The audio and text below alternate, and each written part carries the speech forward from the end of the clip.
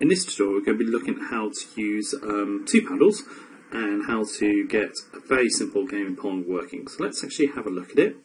Now I've slowed this game down so I can actually uh, play it as I talk. So as you can see, uh, the ball's bouncing quite happily off the paddles and if the paddle misses, it says which player has won. So let's have a look at some of the changes and most of these changes are just duplicating code. So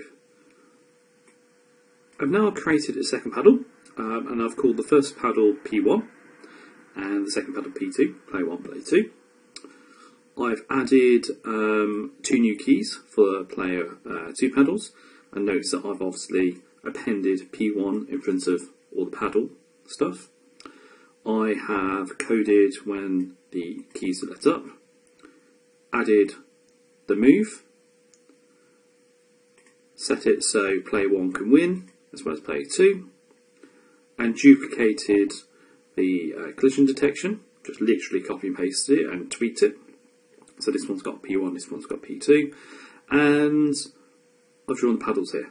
So as you can see I'm using the exact same logic for both of them. It doesn't really matter um, however many paddles I had. I could potentially have paddles along the bottom if I wanted kind of a, a four player Pong game. But um, Either way, um, this is just showing how to simply get a, a, very basic Pong game working. Now, in the next few tutorials, we're going to be looking at actually how to make this a bit more involved uh, and a bit easier to code and extend. Uh, but for now, we'll leave it at that.